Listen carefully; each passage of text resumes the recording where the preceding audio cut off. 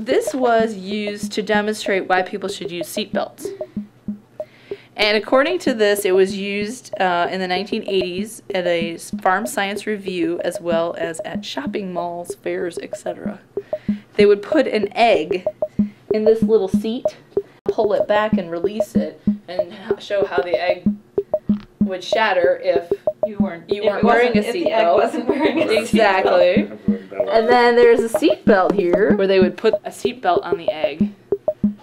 And then they would do the same thing, and of course, the egg would survive and would last.